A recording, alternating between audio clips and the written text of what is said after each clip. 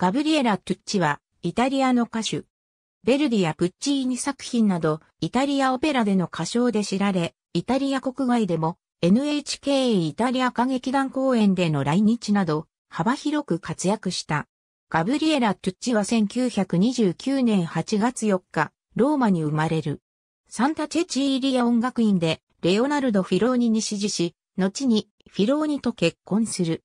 1951年、スポレートでノベルディ、運命の力の公演で、レオノーラを歌いデビューするが、この時の相手役は、ベニャミーノ・ジーリであった。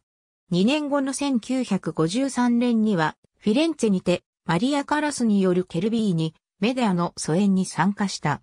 1959年、トゥッチは、プッチーニ、ラ・ボエームの耳で、スカラザにデビュー。同じ年には、NHK 将兵、第2回 NHK イタリア歌劇団のメンバーとして日本を訪れる。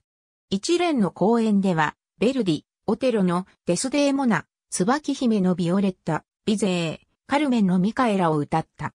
1960年にはロンドンのロイヤルオペラハウスにベルディ、アイーダの表題役、メトロポリタン歌劇場にプッチーニ、蝶々夫人の表題役でそれぞれデビュー。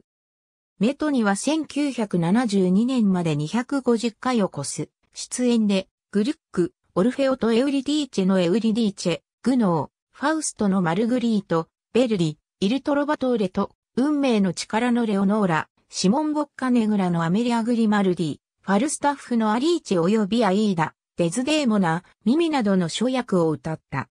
1961年には第3回 NHK イタリア歌劇団のメンバーとして再来日し、アイーダ、リゴレットのジルダ、レオン・カバンロ、道化師のネタを歌った。トゥッチは、イギリス、アメリカ、日本の他にもウィーン、ベルリン、ブエノスアイレス及び、モスクワの初劇場にも出演した。一方で、トゥッチが活躍した時代はカラスやレナータ・テバルディといったディーバが君臨する時代でもあり、商業録音には恵まれなかった。